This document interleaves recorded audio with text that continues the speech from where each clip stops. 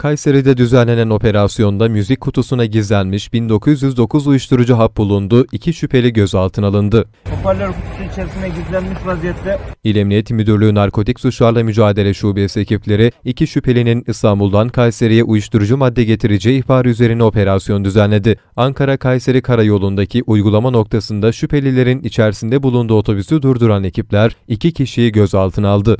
Zanlıların sırt çantalarında yapılan aramada müzik kutusu içerisine gizlenmiş 1909 sentetik uyuşturucu hap ele geçirildi.